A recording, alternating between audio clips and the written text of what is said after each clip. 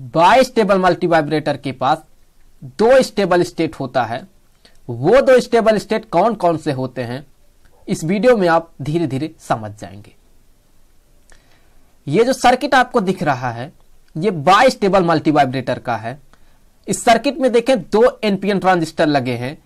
एक तो ये पहला वाला ट्रांजिस्टर है, जो कि Q1 है, और ये जो दूसरा वाला एनपीएन ट्रांजिस्टर है, ये Q2 है। पहला वाला जो ट्रांजिस्टर है, इसका ये जो कलेक्टर वाला साइड है, ये एक आरसी पैरेलल नेटवर्क से होते हुए दूसरे वाले ट्रांजिस्टर के बेस के साथ जुड़ा है और वहीं ये जो दूसरा वाला ट्रांजिस्टर Q2 है, इसका ये जो कलेक्टर वाला साइड है, यह भी एक दूसरे आरसी पैरेलल नेटवर्क से होते हुए पहले वाले ट्रांजिस्टर के बेस के साथ जुड़ा है। और जो C1 कपिस्टर दिख रहा है, और ये C2 जो कि कपिस्टर है, इन दोनों का जो काम होता है यहाँ पे, वो ये है कि ये स्क्वायर वेव का जो हाई फ्रिक्वेंसी कंपोनेंट होता है, उसे पास कर देता है। उससे ये होता यह है कि जो आउटपुट में वेव फॉर्म मिलेगा, उसमें डिस्टोर्शन नहीं होगा। बस यही इसका काम होता है। यहाँ देखें जो ट्रांजिस्टर Q1 है, इसका ये जो बेस है, वो एक रेजिस्टेंस R5 से होते हुए एक VBB बैटरी से जुड़ा है। वही ये जो ट्रांजिस्टर Q2 है, इसका ये जो बेस है, यह भी इसी बैटरी के साथ जुड़ा है। और ये जो कैपेसिटर C3 दिख रहा है, यहाँ से हम अप्लाई कर सकते हैं, या अप्लाई करेंगे आगे चल के निगेटिव ट्रिगरिंग पल्स उसी तरह से यहाँ भी हम अप्लाई करेंगे निगेटिव ट्रिगरिंग पल्स ये जो पहला वाला ट्रांजिस्टर है, इसका ये जो बेस है, जो कि होता है पी साइड ये बैटरी के पॉजिटिव से जुड़ा है तो ये हायर पोटेंशियल में होगा। और ये जो एमीटर होता है, जो कि एन साइड होता है, ये लोअर पोटेंशियल में होगा, क्योंकि ये निगेटिव टर्मिनल से जुड़ेगा बैटरी के। तो ये फॉरवर्ड बायस में होगा। बेस टू इमीटर जंक्शन जो होगा ट्रांजिस्टर Q1 का, ये फॉरवर्ड बायस में होगा। उसी तरह से ये जो ट्रांजिस्टर Q2 है इसका भी जो बेस है वो पॉजिटिव से जुड़ेगा, जो कि पी साइड होगा, ये हायर पोटेंशियल में होगा, उसी तरह से एमीटर का जो एन साइड होगा, ये लोअर पोटेंशियल में होगा। तो ये भी फॉरवर्ड बायस में होगा। तो जब यहाँ से स्विच को ऑन किया जाता है तो ये जो प्लस वीसीसी है, ये कोशिश तो कर रहा है कि दोनों को कंडक्टिंग स्टेट में लाया जाए। लेकिन दोनों ट्रांजिस्टर का जो डोपिंग लेवल है, वो अलग अलग है। दोनों ही एनपीएन ट्रांजिस्टर हैं, ठीक है? लेकिन दोनों का डोपिंग लेवल अलग अलग है। तो हम ये मान के चल रहे हैं आगे कि जो पहला वाला ट्रांजिस्टर है, ये अभी ऑन स्टेट में है, शुरुआत में, और ये जो दूसरा वाला ट्रांजिस्टर Q2 है, ये ऑफ़ है। अगर ऐसा है तो हम इस पहले वाले ट्रांजिस्टर के कलेक्टर को और एमीटर को शॉर्ट कर सकते हैं। तो हमने इसे शॉर्ट कर दिया। इस समय इन दोनों के बीच का जो पोटेंशियल डिफरेंस होगा, या कहें जो यहाँ पे हमें आउटपुट में वोल्टेज मिलेगा, वो मिलेगा ज़ीरो वोल्ट क्योंकि ये शॉर्ट हो गया है।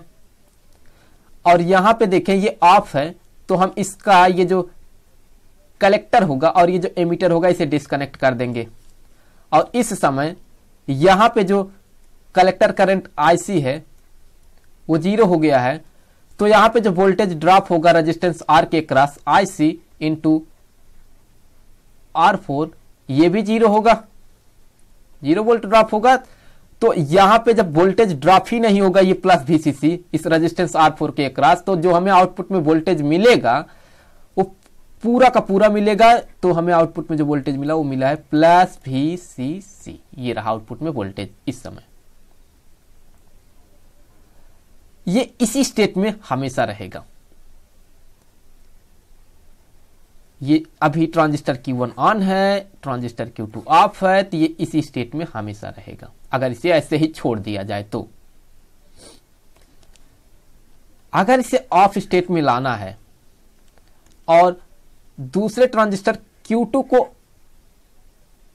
ऑन स्टेट में लाना है। तो हमें यहाँ से अप्लाई करना होगा negative triggering pulse negative triggering pulse तो हमने माना कि ये जो पल्स है, ये कुछ इस तरह से, ये निगेटिव ट्रिगरिंग पल्स है। ये जो पल्स होगा, इसका जो निगेटिव टर्मिनल होगा, उसे हम कनेक्ट करेंगे इस बेस के, जो कि पी साइड होता है, और जो इस पल्स का जो पॉजिटिव टर्मिनल होगा, उसे कनेक्ट करेंगे इस एमीटर के, जो कि एन साइड होता है। ऐसा करने से होगा ये, और यहाँ हम ये मान के चलेंगे, चलिए यहाँ मान ले रहे हैं कि इसका जो पीक वैल्यू है, वो है माइनस वी एम ये जो वी एम होगा, उसे इस वी बी बी से ज़्यादा होना होगा। ये वी बी बी ये कोशिश तो करेगा इसे फॉरवर्ड बायस में रख, बना के रखें ताकि ये जो ट्रांजिस्टर की है ये ऑन स्टेट में रहे। लेकिन जब यहाँ से हम निगेटिव ट्रिगरिंग पल्स अप्लाई करेंगे ये वाला ये ज़्यादा होगा वीएम तो ये क्या चाहता है? ये चाहता है कि इसे रिवर्स बायस में बना के रखें। तो ये निगेटिव ट्रिगरिंग पल्स इसके इफ़ेक्ट को तोड़ देगा काट देगा। तो ये जो ट्रांजिस्टर Q1 है, ये रिवर्स बायस में आ जाएगा। इस निगेटिव ट्रिगरिंग पल्स के अप्लाई करने से ये जो बेस और इमीटर होगा, इस ट्रांजिस्टर Q1 का बेस टू मीटर जंक्शन जो होगा, ये रिवर्स बायस में हो जाएगा। जब ये रिवर्स बायस में होगा तो ये ऑफ़ स्टेट में चला जाएगा। तो अभी ये ऑफ़ हो जाएगा। ये हो गया ऑफ़ अगर ये ऑफ़ है तो हम इसका ये जो कलेक्टर है और ये जो एमीटर है, इसे डिस्कनेक्ट कर सकते हैं तो हमने इसे डिस्कनेक्ट कर दिया। जब डिस्कनेक्ट होगा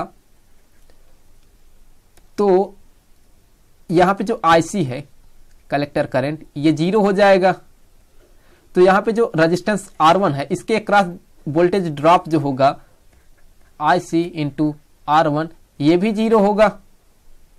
तो पूरा वोल्टेज ये जो प्लस वीसीसी है, ये हमें यहाँ पे मिलेगा आउटपुट में वोल्टेज, आउटपुट में मिलेगा। तो जो आउटपुट में मिला हमें, वो मिला है प्लस वी सी सी इन दोनों टर्मिनल के बीच का जो वोल्टेज है, पोटेंशियल डिफरेंस, वो है प्लस वी सी सी ये पॉजिटिव होता है और ये निगेटिव होता है। यही प्लस वीसीसी ये अप्लाई होगा। दूसरा वाला जो ट्रांजिस्टर है Q2 उसके बेस के साथ और ये जो निगेटिव वाला होगा, ये अप्लाई होगा इसके एमीटर के साथ। ऐसा होने से होगा ये कि जो ये प्लस वीसीसी है, ये इसे फॉरवर्ड बायस में बना के रखने का कोशिश करेगा। और ये ऑलरेडी ऑलरेडी एक बैटरी से जुड़ा है प्लस वी भी ये भी इसे फॉरवर्ड बायस में बना करके रखने का कोशिश करेगा। तो दोनों मिल करके, दोनों मिल करके वीसीसी और वीबीबी ये दोनों मिल करके इसे फॉरवर्ड बायस में बनाएगा। इस ट्रांजिस्टर जो Q2 है, इसका ये जो बेस और इमीटर होगा, इसे फॉरवर्ड बायस में बना कर रखेगा। फॉरवर्ड बायस ऐसा करेगा तो ये ऑन स्टेट में चला जाएगा। अब ये ऑफ़ नहीं रहेगा तो जब ये ऑन स्टेट में जाएगा तो हम इसका ये जो कलेक्टर वाला साइड है, और ये जो एमीटर वाला साइड है, इसे कनेक्ट कर सकते हैं। और कनेक्ट करने के बाद हम इसे शॉर्ट भी कर सकते हैं। तो हमने इसे कर दिया कुछ इस तरह से शॉर्ट और ये अभी जो है, ये ऑन स्टेट में चला गया है। अब देखें जो आउटपुट में वोल्टेज मिलेगा, वो हमें कितना मिलेगा? वो मिलेगा ज़ीरो वोल्ट ज़ीरो वोल्ट मिलेगा क्योंकि ये शॉर्ट हो गया है।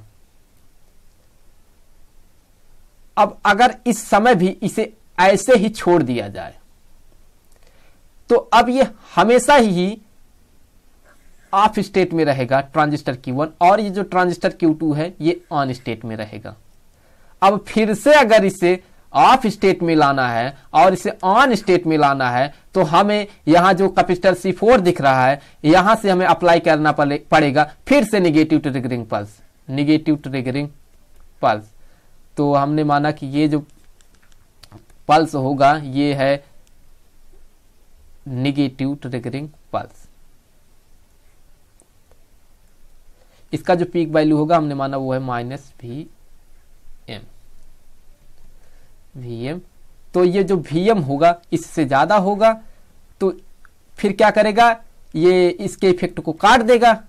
जैसे इस केस में काटा था तो ये काट देगा। भले ये कोशिश तो करेगा इसे फॉरवर्ड बायस में बना के रखें, और ये transistor Q two on on रहे लेकिन ये जो निगेटिव ट्रिगरिंग पल्स अप्लाई किया जाएगा, उससे होगा ये कि ये ऑफ़ स्टेट में चला जाएगा, क्योंकि ये निगेटिव ट्रिगरिंग पल्स यहाँ कोशिश कर रहा है रिवर्स बायस में बना के रखें। और चूँकि इसका जो पीक वैल्यू है वीएम वो इससे ज़्यादा है तो इसे रिवर्स बायस में बना देगा। और जब बनाएगा जब बनाएगा तो ये जो ट्रांजिस्टर Q2 है, ये ऑफ़ स्टेट में चला जाएगा। और ऑफ़ में जाएगा तो हम इसका ये जो कलेक्टर और इमीटर है, इसे डिस्कनेक्ट कर देंगे। तो हमने इसे डिस्कनेक्ट कर दिया। और जब डिस्कनेक्ट कर दिया, इस समय इस समय जो हमें आउटपुट में वोल्टेज मिलेगा, वो फिर से फिर से मिलेगा हमें प्लस भी सी सी और ये इस समय हो गया है, ये फिर से ऑफ़ क्योंकि इस समय इस समय यहाँ पे जो हमें आउटपुट में वोल्टेज मिल रहा है, वो मिल रहा है प्लस वीसीसी जो कि इन दोनों टर्मिनल के बीच होगा। और यही प्लस वीसीसी अप्लाई होगा इस ट्रांजिस्टर Q1 के बेस में और एमीटर में क्योंकि ये प्लस होता है और ये माइनस होता है। तो यही वोल्टेज प्लस वीसीसी अप्लाई होगा यहाँ ट्रांजिस्टर Q1 के बेस और एमीटर में। वीबीबी ये कोशिश कर रहा है इसे फॉरवर्ड बायस में बना के रखें। और ये प्लस वीसीसी जो होगा वह भी कोशिश करेगा इसे फॉरवर्ड बायस में बना के रखें। तो दोनों मिल करके VCC और VBB ये दोनों मिल करके इस ट्रांजिस्टर Q1 को लाएगा फॉरवर्ड बायस में। ऐसा लाएगा तो ये जो ट्रांजिस्टर Q1 है, अब ये ऑन स्टेट में आ जाएगा फिर से। तो फिर से ये आ जाएगा ऑन स्टेट में। जब ये ऑन स्टेट में आएगा तो हम इसका ये जो कलेक्टर है और ये जो एमीटर है, हम इसे शॉर्ट कर सकते हैं। और इस समय जो हमें आउटपुट में वोल्टेज मिलेगा, फिर से वो मिलेगा ज़ीरो वोल्ट तो ये रहा इसका कंप्लीट वर्किंग इस बाइस्टेबल मल्टी वाइब्रेटर का। अगर मैं इसे आउटपुट वोल्टेज को यहाँ ग्राफ में रिप्रेजेंट करना चाहूँ तो मैं इसे करके दिखा दे रहा हूँ आपको। तो हमने माना कि ये जो एक्सिस है, ये रिप्रेजेंट कर रहा है आउटपुट वोल्टेज को, और ये जो एक्सिस है, ये रिप्रेजेंट कर रहा है टाइम को। तो ये रिप्रेजेंट किया है टाइम को। और शुरुआत में हमें मिला था आउटपुट वोल्टेज जब ये ट्रांजिस्टर ऑफ़ था, तब हमें मिला था आउटपुट में वोल्टेज प्लस वी तो ये जो वोल्टेज है, हमने माना कि यहाँ पे ये है, ये जो पॉइंट रिप्रेजेंट कर रहा है, ये प्लस वी को रिप्रेजेंट कर रहा है तो इतनी देर तक हमें मिला प्लस वी सी सी और फिर ये आया था ऑन स्टेट में। उस समय जो हमें आउटपुट में वोल्टेज मिला था, वो मिला था ज़ीरो तो कुछ देर तक हमें मिला ये आउटपुट में वोल्टेज ज़ीरो और फिर जब ये ऑफ़ स्टेट में आया तो हमें फिर से मिलने लगा plus V C C voltage तो हमने ये दिखाया कि ये है प्लस वी सी सी तो देखें इसके पास दो स्टेट होता है और उन दोनों स्टेट को चेंज करने के लिए हमें हर बार, हमें हर बार निगेटिव ट्रिगरिंग पल्स अप्लाई करना होता है।